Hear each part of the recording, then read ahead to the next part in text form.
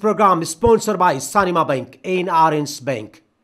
नमस्ते दर्शकबिन स्वागत छ यहाँलाई। प्रवासीहरूको गतिविधि समेटेर हरेक हप्ता लन्डनमा तयार पारिने कार्यक्रम नमस्ते रोप। अनि म तपाईँहरूको सहयात्री राजेन्द्र भट्ट नेपाली। गरे के हुँदैन? लगन मेहनत अनि आत्मविश्वास छ भने जतिसुकै कठिन काम किन नहोस् त्यो सम्पन्न गर्न सकिन्छ। आजको यो श्रृङ्खलामा यस विषयमा पनि हामी कुराकानी गर्नेछौँ। तर यतिखेरलाई हेरौँ आजका प्रमुख झलकहरू तीन दशक लामो आन्दोलन अन्त्यको नजिक भूपू ब्रिटिस गोर्खा सङ्गठनहरू एकै साथ सरकार सरकार बीच वार्ता प्रारम्भ। प्रतिकूल मौसम र विकटतासँग लड्दै एनआरएनए लाप्राक नमुना बस्ती। बेलायत एनआरएनदेखि कतार जर्मनीबाट पनि एनआरएनहरूमा बढ्दो अपनत्व एनआरएनएको हेडक्वार्टर निर्माण कार्यमा तीव्रता संयोजक सोनाम लामा आशावादी। स्वास्थ्य परीक्षण गर्न विदेश जानुपर्ने नेपालीको बाध्यता कम हुने एनआरएनएका संस्थापक अध्यक्ष डाक्टर उपेन्द्र महतोको विश्वास भैँसी पार्टीमा नेपाल मेडिसिटी। एनआरएनएको ई लाइब्रेरी मोना पनि सात पचहत्तरवटै जिल्लामा पुर्याउने लक्ष्य। सोनाम लामा जे गर्नुहोस् गर्नुहोस् तर सुरु गरेको काम पुरा गर्नुहोस्। सफलता यही छ मुस्ताङबाट न्युयोर्कसम्म स्पेनका राजाद्वारा स्पेनमा खोलिने दूतावास प्रतिको खुसी व्यक्त। यो भयो आजका प्रमुख झलक। सुरु गरौँ विस्तारमा। सुरु गरौँ गत दुई सय वर्षदेखि बेलायती सेनामा सेवा गरिरहेका भूपू सेनाहरूले आफूमाथि भएको भेदभावको विरुद्धको आन्दोलनको बारेमा। नेपाल सरकार र बेलायत सरकार बिच पहिलो पटक लन्डनको रक्षा मन्त्रालयमा वार्ता सम्पन्न। यसले गोर्खालीहरूको आन्दोलन अब करिब करिब अन्तिम चरणमा पुगेको आभास पनि दिलाएको छ। हेरौँ हाम्रो सहकर्मी मित्र विमला सेनेको लन्डनबाट यो रिपोर्ट। दुई सय वर्षदेखि विभेद खेपिरहेका भूपू गोर्खाहरूको समस्यालाई लिएर पहिलोपल्ट त्रिपक्षीय वार्ता गत बुधबार सम्पन्न भएको छ। नेपाल सरकार भूपू गोर्खा र बेलायत सरकार बीच बेलायती रक्षा मन्त्रालय एमओडीमा भएको वार्तालाई सकारात्मक रूपमा लिएको छ।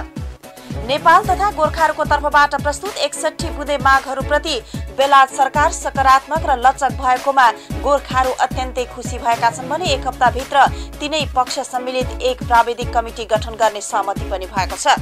प्राविधिक कमिटीले भूपू गोर्खाहरूको मागका बारेमा विस्तृत अध्ययन गरी के कसरी समस्या समाधान गर्न सकिन्छ भन्ने बारे टुङ्गो लगाउने बताइएको छ। करिब डेढ घण्टा लामो सो वार्तामा नेपाल सरकारका प्रतिनिधि राजदूत डाक्टर दुर्गा बहादुर सुवेदीले भूपू गोर्खाहरूको माग उचित भएको जनाउँदै त्यसको छिटो सम्बोधन गरिदिन बेलायती रक्षा मन्त्री मार्क ल्याङ्कास्टरलाई आग्रह गरेका थिए। वार्तामा सत्याग्रह सङ्घर्ष समिति गोर्खा भूतपूर्व सैनिक सङ्घ गेसो लगायत सबै गोर्खा संगठनका सोह्र प्रतिनिधिहरूले भाग लिएका थिए। गोर्खाका समस्याहरूको सारांश सुनेपछि रक्षा मन्त्री ल्याङ्कास्टरले गोर्खाहरूको समस्याका बारेमा बेलायत सरकार सकारात्मक भएको बताउनु भयो वार्ताकै अघिल्लो दिन गोर्खा सत्याग्रह सङ्घर्ष समिति र भूतपूर्व गोर्खा सैनिक सङ्घको एकता भएको थियो।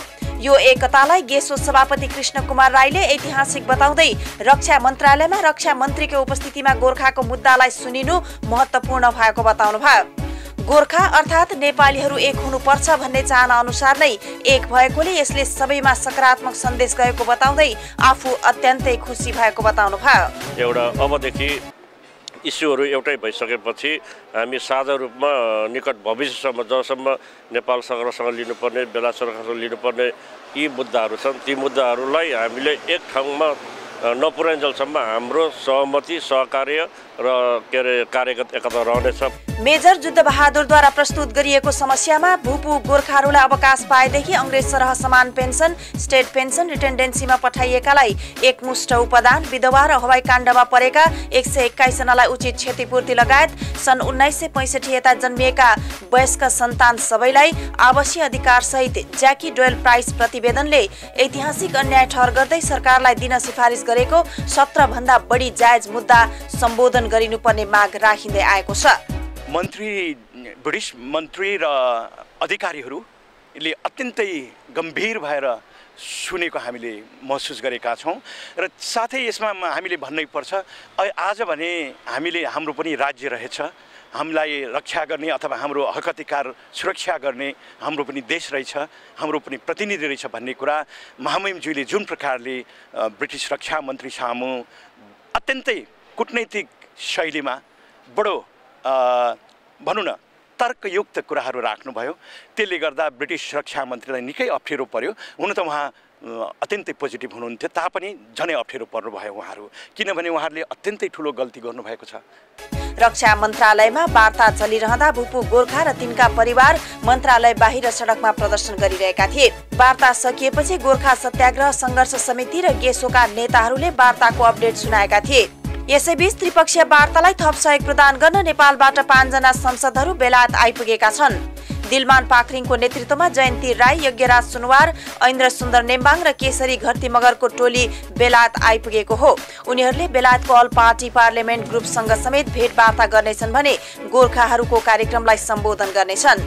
जसको लागि आगामी छ अप्रिलमा रिडिङमा सात एप्रिलमा विलविचमा आठ एप्रिलमा ह्यारोमा र नौ एप्रिलमा अल्डरसटमा कार्यक्रम आयोजना गरिएको छ। त्यस्तै गरी एघार एप्रिलमा हेरोबरो फुटबल क्लबमा आम सभाको कार्यक्रम तय गरिएको प्रमुख संयोजक कृष्ण राईले जनाउँदै सबैलाई उपस्थितिको लागि हार्दिक आग्रह पनि गर्नुभएको छ। यो भयो गत तिन दशकदेखि आफूमाथि भएको भेदभावको विरुद्ध आन्दोलन गरिरहेका गोर्खालीहरूको बारेमा। हामीले गोर्खा एकताको बारेमा पटक पटक आवाजहरू उठाउँदै आएका थियौँ। अन्तत गोर्खा एकता छ। सधैँ आफूलाई अरू सङ्गठनहरूभन्दा फरक र अरू सङ्गठनहरूभन्दा विशेष मान्ने गेसो एकै ठाउँमा आइपुग्नु गोर्खालीहरूको लागि एउटा ठुलो उपलब्धि हो।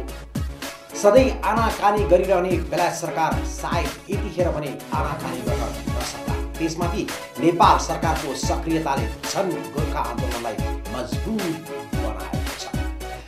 अब एक किसिम कुराकानी गरौँ।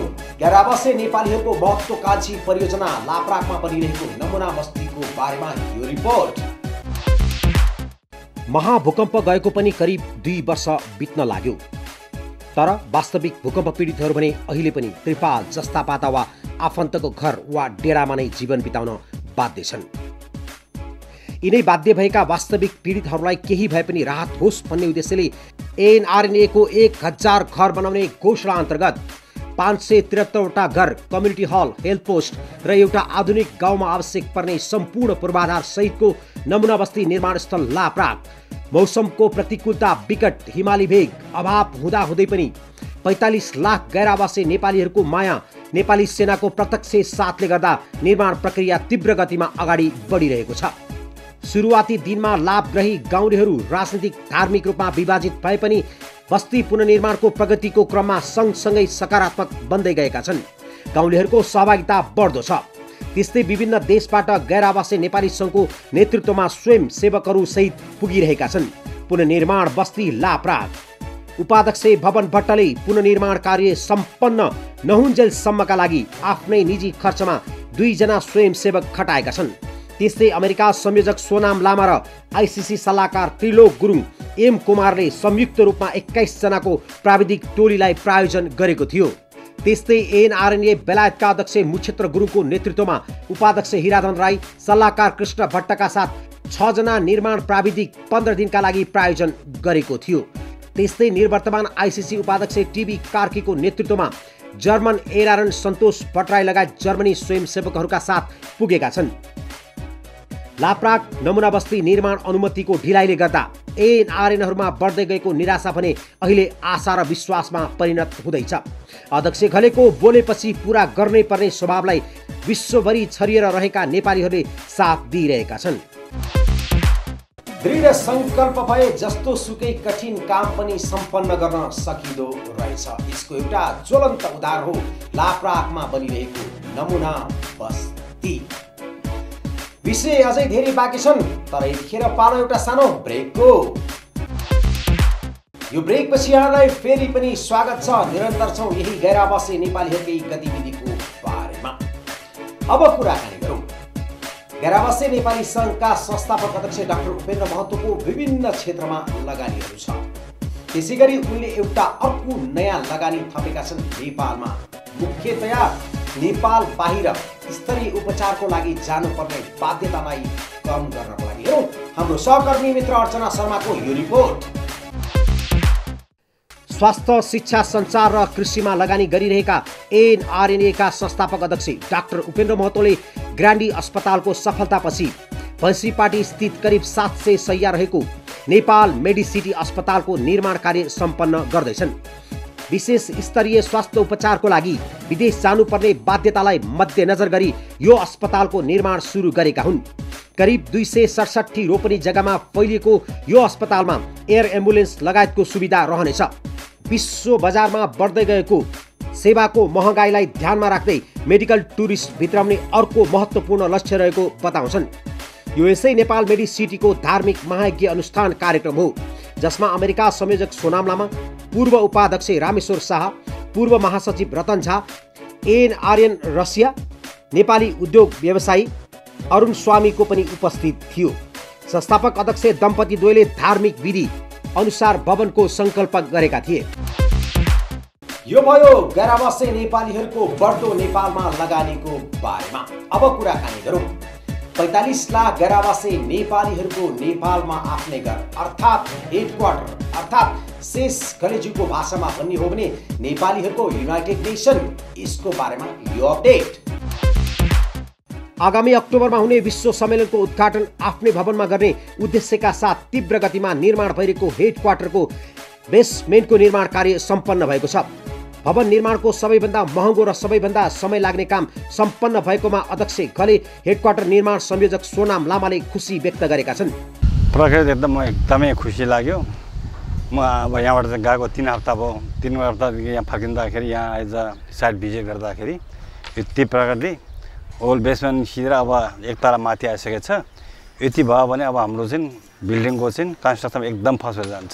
सबभन्दा टाइम लाग्ने यसमै हो। भवन निर्माणको सुरुवातदेखि नै संयोजक भई निरन्तर खटिरहेका सोनाम लामा आगामी विश्व सम्मेलनको उद्घाटन यही भवनमा गर्नेमा आशावादी देखिन्छन्। अब जुलाई अगस्तमा अलिकति पानी रेनी सिजनमा मात्रै हो।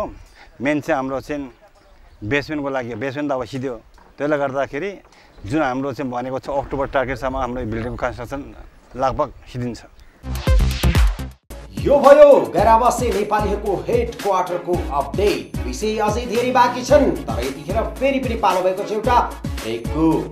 यो ब्रेकपछि यहाँलाई फेरि पनि स्वागत छ। कार्यक्रम हो नमस्ते रोप अनि म हुँ तपाईँहरूकै सहयात्री राजेन्द्र भट्ट नेपाली।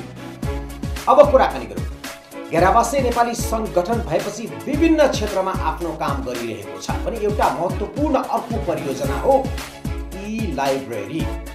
हामी जस्तो विकास उन्मुख देशको लागि अति नै महत्त्वपूर्ण हुने। इन्टरनेट नचाहिने एउटै पिसीबाट धेरैवटा मोनिटरमा पर्फर्म गर्न सकिने।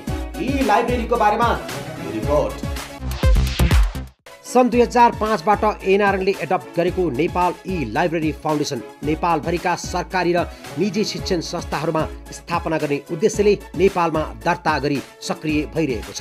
यस ई लाइब्रेरी अन्य लाइब्रेरीभन्दा फरक छ। इन्टरनेटको आवश्यकता नपर्ने एउटै पिसीबाट धेरैवटा मोनिटर राखी एकै पटक सञ्चालन गर्न सकिने। यस सफ्टवेयरको उत्पादन गरिएको हो। जसबाट युवाहरूमा हुने साइबर क्राइमलाई रोक्छ भने नर्सरीदेखि पिएचडी गर्नेहरूसम्मका लागि विश्वमा पाइने सम्पूर्ण पुस्तकहरू प्राप्त हुनेछन्। नेपाल जस्तो विकास उन्मुख गरिब राष्ट्रका लागि यो उपयुक्त रहेको वर्तमान अध्यक्ष जापान निवासी कपिल देव थापा बताउँछन्। र दुई हजार तिन सालमा एनआरएनको दौरानमा हिँड्दा हिँड्दै हाम्रो अग्रज दाईहरू यो कोइराला परिवारबाटै हुनुहुन्छ नरेश कोइरालाजी। उहाँबाट दुई हजार पाँच सालमा नेपाल लाइब्रेरी फाउन्डेसन क्यानाडा भएर रजिस्टर भयो क्यानाडामा। जब नेपाल लाइब्रेरी फाउन्डेसन क्यानाडा भएर क्यानाडामा दर्ता भयो त्यस पछाडि हामी दुई हजार छ सालदेखि नै नेपालमा आफ्नो एक्टिभिटिजहरू सुरु गर्न थाल्यौँ।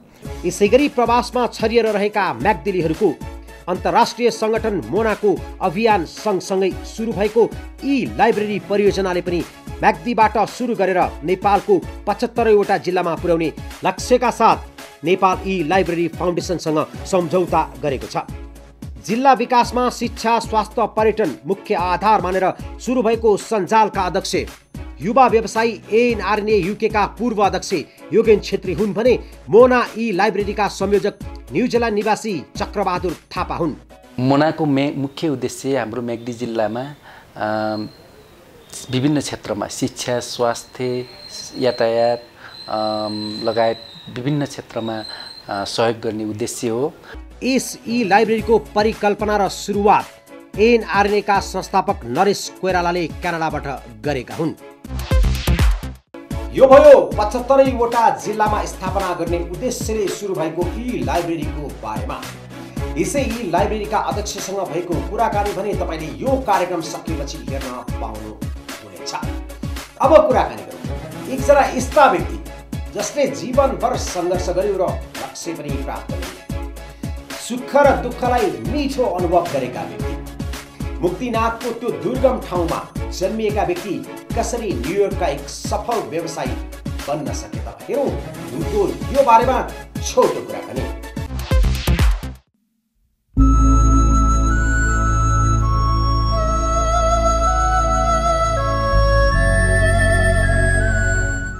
हामी मान्छे हामी खोजिरहन्छौँ।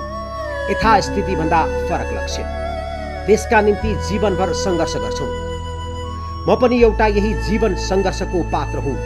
मेरो जीवन सङ्घर्षको मार्गबाट लक्ष्य प्राप्तिको लागि गरेको यात्रा। पुरा हिजो र आजको होइन झन्डै आधा शताब्दी बितिसक्यो।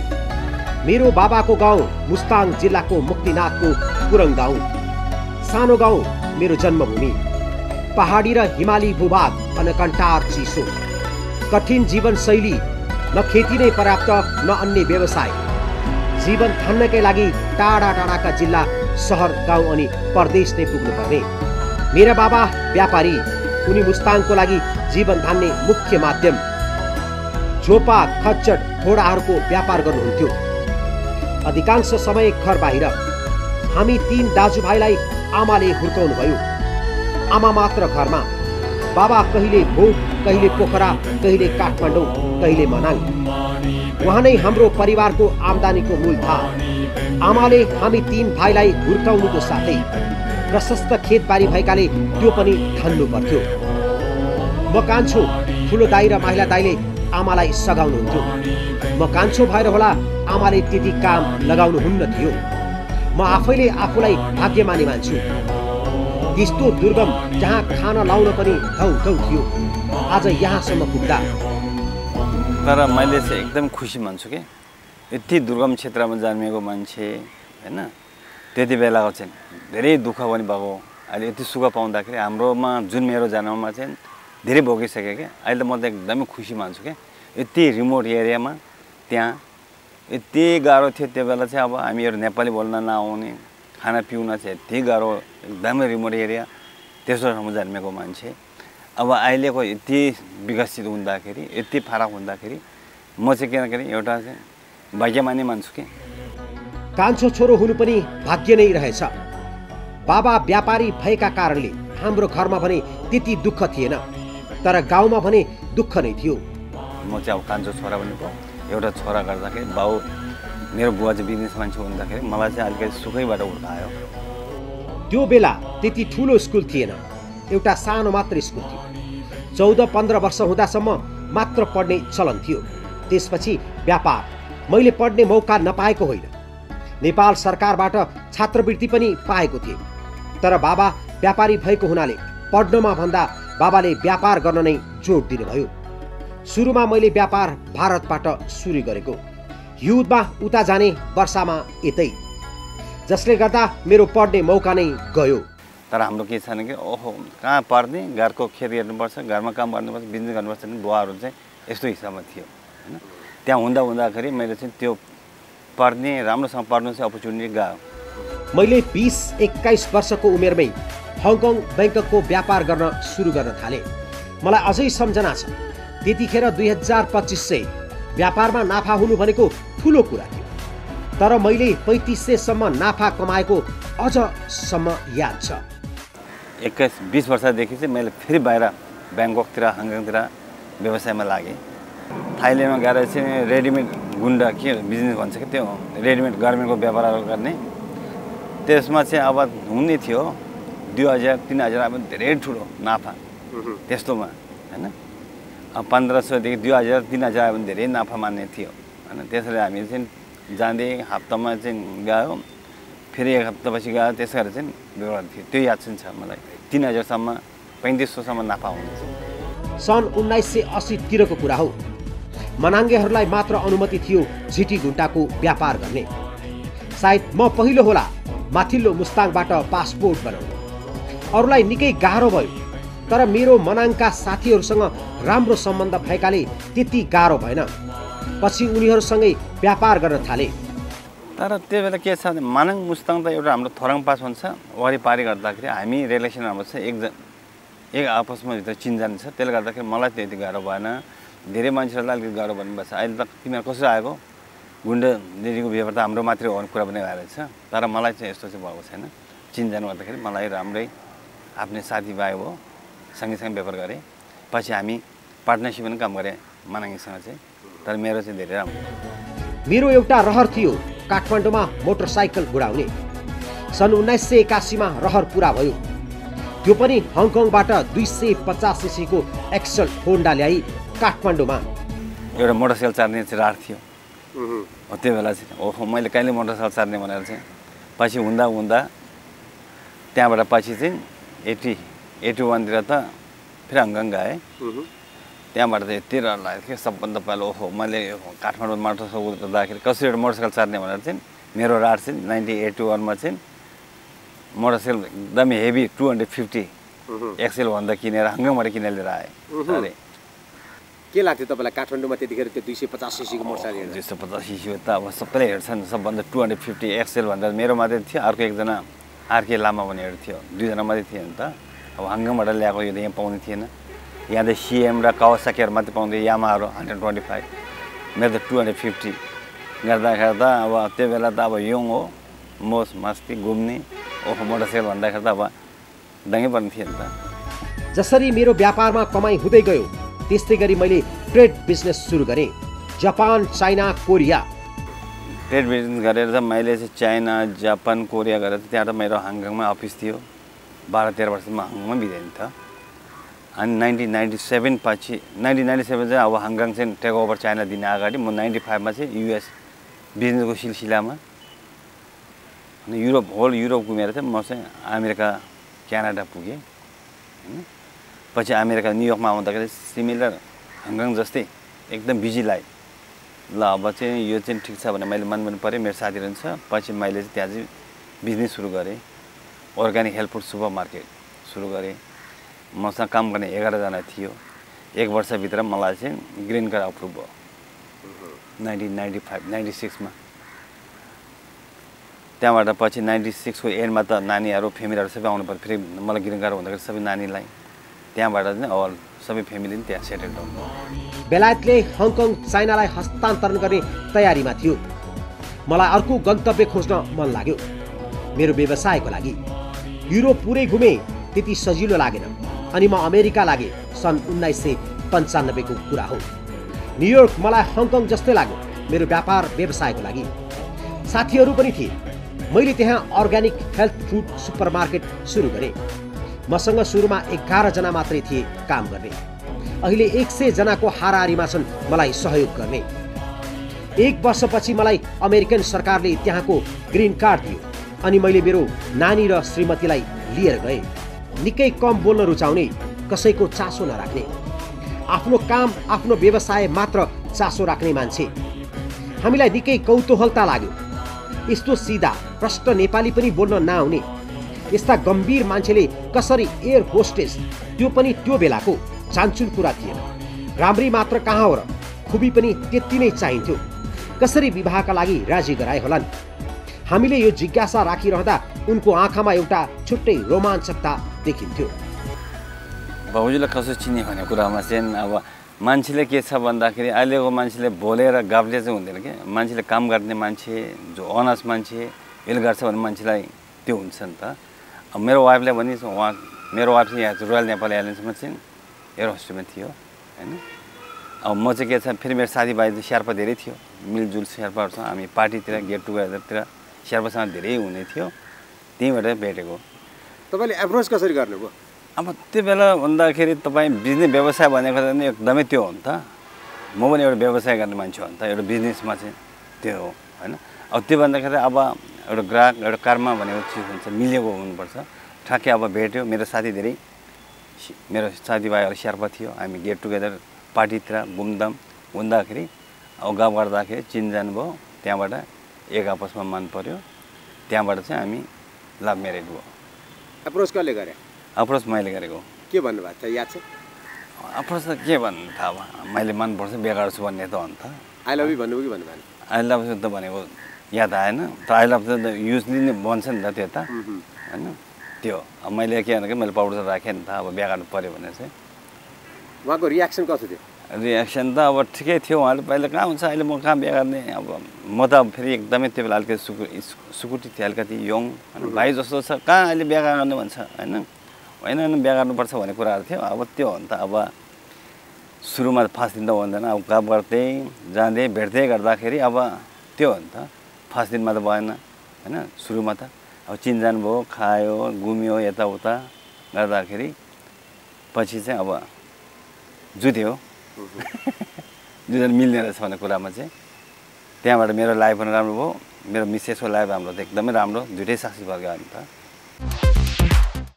हामीले सोनाम लामाको यो विषय प्रस्तुत गर्नुको मुख्य उद्देश्य हो यदि एकजना व्यक्तिमा पनि यो कार्यक्रम हेरेर आशा पलायो भने हाम्रो उद्देश्य पुरा हुन्छ। हामीले सोनाम लामालाई यसरी नै सम्झाएका थियौँ यसरी नै बुझाएका थियौँ ताकि एकजना व्यक्तिको कारणले यदि एकजना व्यक्तिको मनमा विश्वास बढ्छ भने त्योभन्दा अर्को ठुलो धर्म होला र। उहाँको बारेमा सम्पूर्ण विवरण भने तपाईँले यो कार्यक्रम सकिएपछि हेर्न पाउनुहुनेछ भने अब कुराकानी गर्नेछु। अन्तिम रिपोर्ट। स्पेनबाट हाम्रा सहकर्मी मित्र भोला लामिछानेको यो रिपोर्ट। स्पेनका राजा फिलिपे छैठौँले नेपाल सरकारले स्पेनमा दूतावास स्थापना गर्न लागेको सुन्दा निकै खुसी भएको बताएका छन्। रोयल प्यालेस म्याड्रिडमा बुधबार आयोजित एक विशेष समारोहबीच फ्रान्सका लागि नेपाली राजदूत अम्बिका देवी युटेल समक्ष उक्त कुरा बताएका हुन्। अहिले स्पेनमा दूतावास नहुँदा फ्रान्स स्थित नेपाली राजदूतावास पेरिसबाट यहाँ विभिन्न कागजी कारवाहीहरू हेर्ने गरिएको छ। लुटेल स्पेनका राजा फिलिपे छैटो समक्ष ओहदाको प्रमाणपत्र पेश गर्न स्पेनको राजधानी म्याड्रिड पुग्दा गैर आवासीय नेपाली सङ्घ स्पेनको म्याड्रिड शाखाद्वारा आयोजना गरिएको अन्तर्क्रिया कार्यक्रममा समेत सहभागी बनेको म्याड्रिड शाखाका अध्यक्ष रोशन पाठकले बताएका थिए। अन्तर्क्रियामा स्पेनमा रहेका नेपालीहरूले भोग्नुपर्ने समस्याहरूको अवगत गराउँदै स्पेनका राजा समक्ष लगिदिन अनुरोध समेत गरेका थिए। स्पेनमा दूतावास खोल्ने बारे राजालाई पहिले नै जानकारी रहेछ भन्दै यसले झन् दुई मुलुक बीचको द्विपक्षीय सम्बन्धलाई सुदृढ सुमधुर र घनीभूत बनाउने विश्वास राजाबाट व्यक्त भएको जानकारी दिइन्। राजा फिलिपे छैटौँले सन् दुई हजार चौधदेखि स्पेनको राजगद्दी सम्हाल्दै आएका छन्। एनआरएनए मेड्रिड शाखाको आयोजनामा आयोजित अन्तर्क्रियामा गैरावासीय नेपाली सङ्घ अन्तर्राष्ट्रिय समन्वय परिषद स्पेनका सदस्य एकराज गिरी पनि सहभागी थिए। हवस् त दर्शकिन आजको लागि यो गतिविधि यति नै। फेरि अर्को पटक यस्तै गरी गैरावासी नेपालीहरूका गतिविधिहरू लिएर आउने नै छु त्यति दिनसम्मको लागि म लगायत यतिखेर मलाई सघन हुने अर्चना शर्माका साथ जय नेपाल!